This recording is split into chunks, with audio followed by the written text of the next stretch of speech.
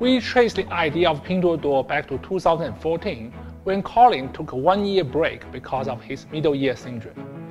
So he had time to step back and think about how technology was changing society. At that time, online user behavior was undergoing a paradigm shift from the desktop internet to the mobile internet because of the smartphone.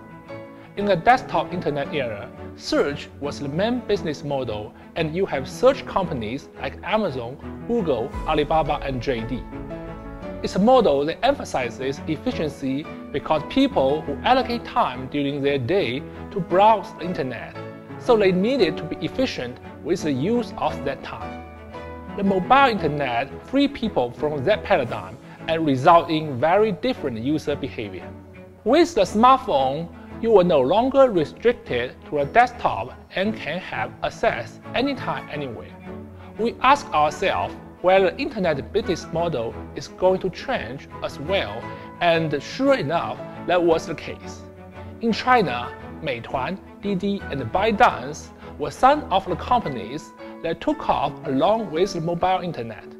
In coming up with PDD, we look at what users needed that the incumbents were not providing.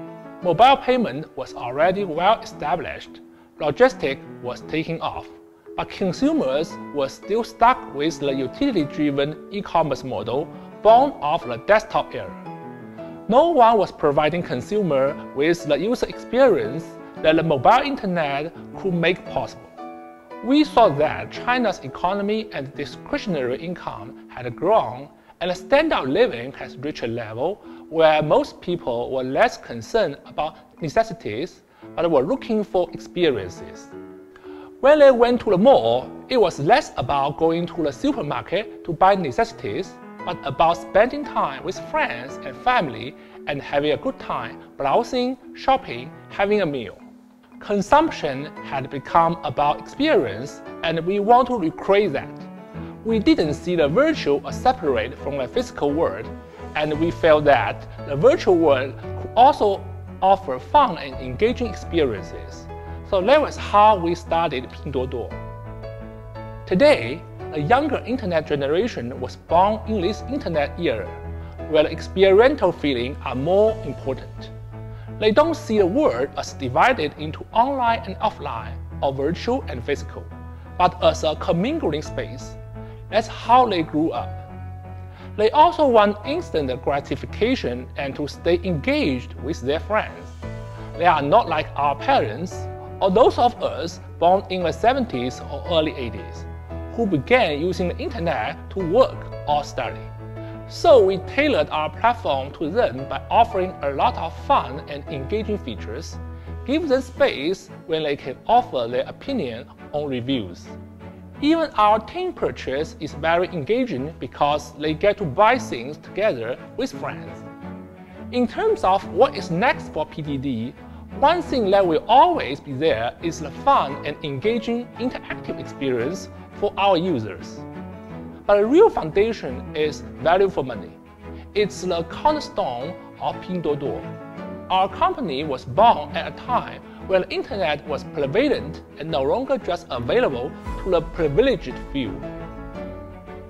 We hope that through building up Pinduoduo, we can offer even more experiences that can bring the best of digital economy to everyone. We hope that it can help provide equal opportunities to both our users and sellers. And that's also part of the reason why Colin is taking a step back from day-to-day management so that he can devote time to think how we can better leverage technology to increase our value to society.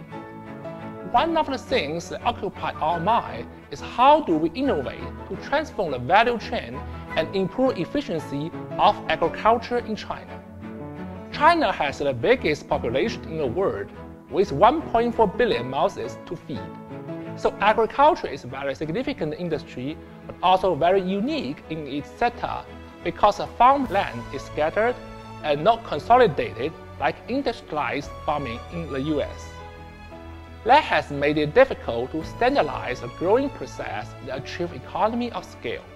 So we think about how we can leverage our platform to aggregate demand and utilize analytics to overcome the challenge of topology and climate, and hence growing methodology.